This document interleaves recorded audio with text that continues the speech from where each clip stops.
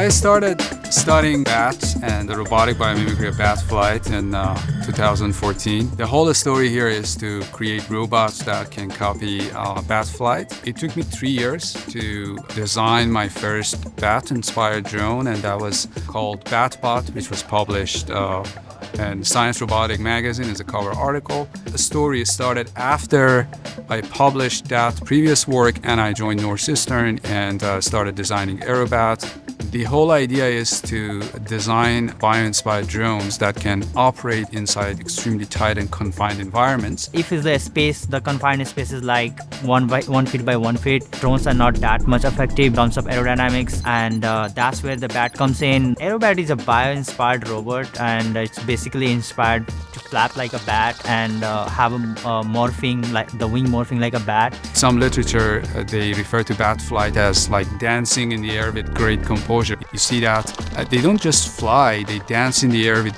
great composure. They try to manipulate their fluidic environment, and that's unique to bats. I was so excited to start working on this, and my job is like I'm leading this Aerobat project. I look after the mechanical design, the perception side. I'm overlooking on everything. It's a cool project to have students engage in this type of problems.